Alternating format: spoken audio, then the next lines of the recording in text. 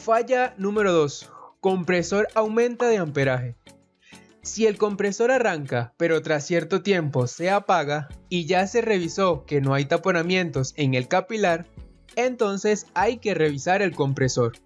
Para esto debes conectar el manómetro de baja a la válvula de servicio y el amperímetro a la línea del compresor.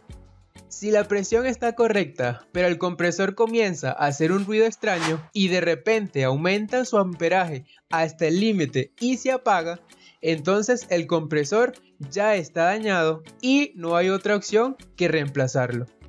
Debes tener en cuenta que esto sucede en refrigeradores viejos o con un mal mantenimiento. En este punto también debemos revisar que el condensador tenga la ventilación correcta ya que esto ocasione señales similares.